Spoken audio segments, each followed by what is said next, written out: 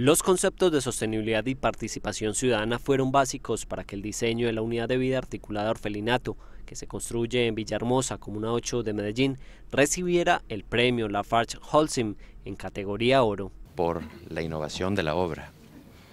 Segundo, por el concepto de una construcción sostenible. Tercero, porque tomó en cuenta las ideas de la comunidad. El diseño fue escogido entre 6.103 propuestas por un jurado conformado por decanos de las principales facultades de arquitectura del mundo, como la Universidad de Harvard y Sao Paulo. El diseño, digamos, de alguna manera recompone muchos de los elementos propios eh, del sitio específico, en este caso orfelinato.